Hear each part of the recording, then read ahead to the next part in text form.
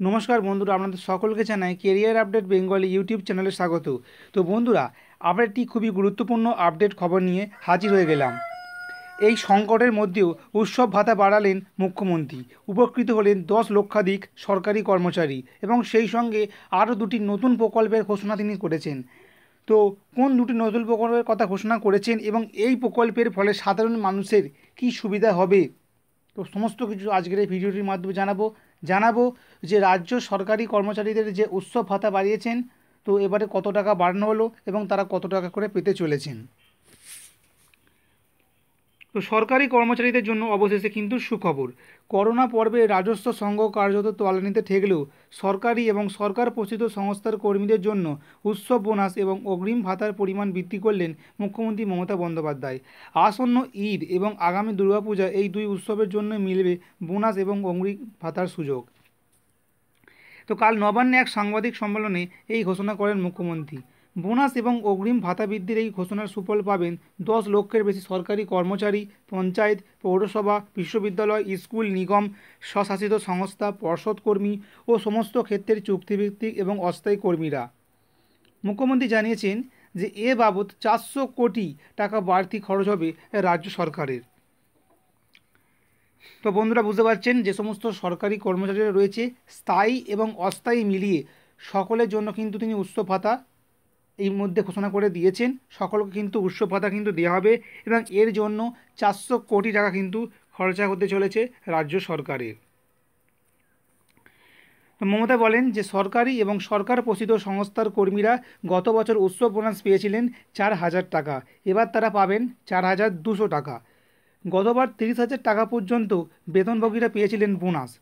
এবার সেই বেতন সীমা বাড়িয়ে চৌত্রিশ হাজার দুশো পঞ্চাশ টাকা করা হয়েছে। অর্থাৎ চার হাজার দুশো পঞ্চাশ টাকা তারা বেশি পাচ্ছেন। মুখ্যমন্ত্রী বলেন, উৎসব অগ্রিম ভাতা গতবার ছিল আট হাজার টাকা এবার তা করা হয়েছে দশ হাজার টাকা। অগ্রিম ভাতার জন্য বেতন সীমা চৌত্রিশ হাজার দুশো পঞ্চাশ টাকা থেকে বাড়িয়ে একচল্লিশ হাজার একশো টাকা করা হয়েছে। তো নবান্ন সূত্রে জানা গিয়েছে যে, উৎসব বোনাসের আওতায় আসছেন পেনশন পাপকরাও। যাদের পেনশন উনত্রিশ হাজার সাতশো টাকা পর্যন্ত, তারা এক্স গ্রাসিয়া বাবদ পাবেন দু হাজার দুশো টাকা। গতবার যার পরিমাণ ছিল একুশশো টাকা এবং পেনশন সীমা ছিল ছাব্বিশ হাজার টাকা।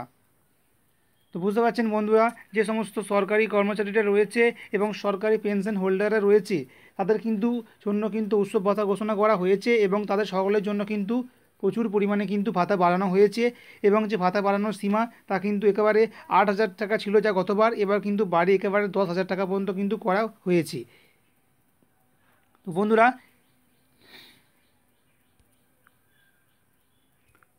পরবর্তী জানাব আপনাদের যে দুটি প্রকল্পের কথা ঘোষণা করেছে, সেই দুটি প্রকল্পের ব্যাপারে।